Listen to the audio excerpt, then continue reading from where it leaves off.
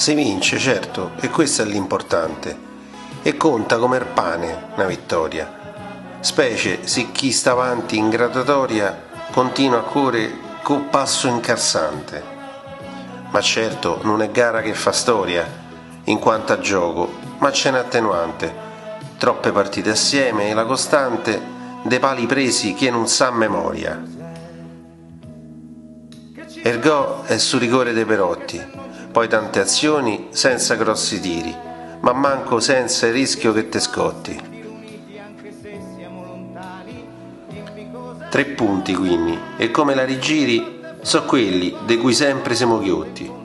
E resta roba per sogni e sospiri. E ci parla